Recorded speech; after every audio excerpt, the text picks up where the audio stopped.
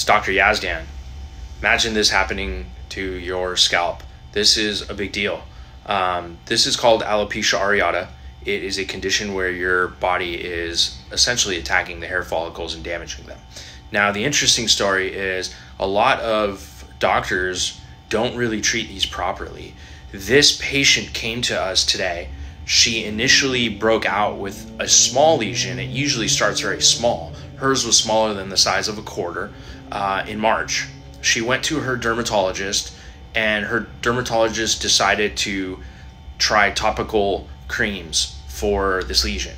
Now, patients that come to us, we're very aggressive with these treatments because I don't want this happening to my patients.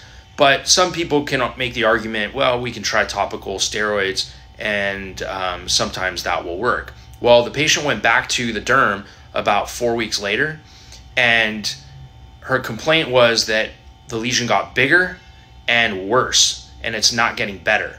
At that point, this should be properly treated because now you have a patient telling you that the steroid creams didn't work and we need we need to, to do something else. And that wasn't done. So as time went on this got bigger and bigger and bigger. The patient found us. She came to us. I have a specific protocol for uh, treating these alopecia areata lesions and we get really good results with them but the key is to be very aggressive with them because you can have one of these you can also have three or four of these. They can also affect your eyebrows. So it can be pretty disfiguring. Now, what's also important to understand is you we don't really hair do hair transplants into these. Uh, definitely not acutely. So if this doesn't grow back and this stays the way that it is, I generally don't like to do hair transplants in alopecia areata lesions because that hair transplant surgery can bring about new lesions. Uh, and I don't like to take that risk with patients. So the best way is if you guys have something like this growing on your scalp, it's usually very quick, it happens fast. You need to get in with the proper doctor and be seen and treated properly uh, initially. Otherwise, things can get this big.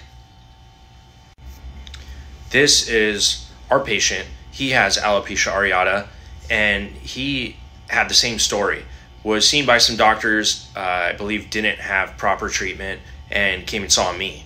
When I saw him, his hair looked like this. There was really no follicles showing through here when I looked at it under a, like a microscopic exam.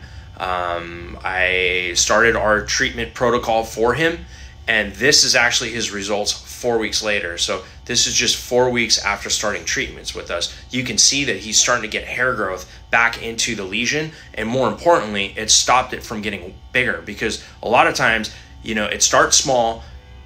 Here's where you see them, and if it's not managed properly, it can be, you know, all the way over here. So it, it can get double the size of what you're seeing in this photo, especially in a lesion that's growing. A lot of times these just, you know, start small and go away on their own. But once they start to get this big, they don't usually go away completely on their own. They need to be treated properly. And once proper treatment is started, this is what you can start to expect generally for patients. Um, and this is going to get a lot better. So, my protocol is about a three month treatment plan.